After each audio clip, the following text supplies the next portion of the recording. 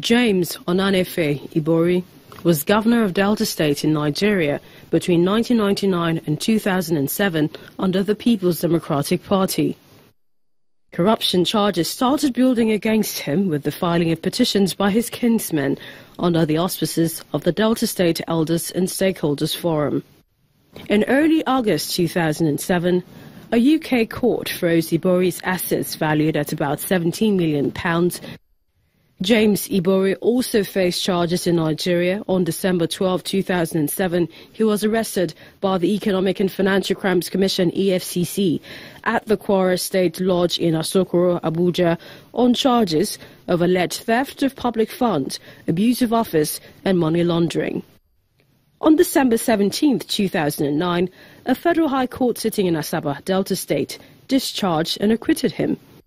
But in May, 13, 2010, Ibori was arrested in Dubai, United Arab Emirates, under Interpol warrants issued from the United Kingdom and enacted by the Metropolitan Police.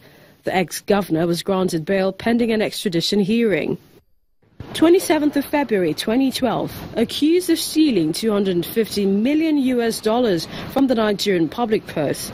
Ibori pleaded guilty to 10 counts of money laundering and conspiracy to defraud at the Southwark Crown Court in London.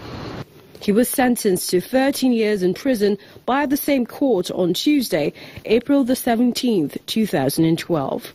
His release today on the orders of the UK court did not come easy, as lawyers to the British Home Office fought to detain him further. But the judge in charge, Justice Juliet May, ruled that it was injustice to keep him after his agreed date of release, December 29, 2016. It's not yet uhuru for Mr. Ibori, as his expected extradition to Nigeria may yet open up another flurry of court cases waiting for him to step off the Nigerian-bound flight from London.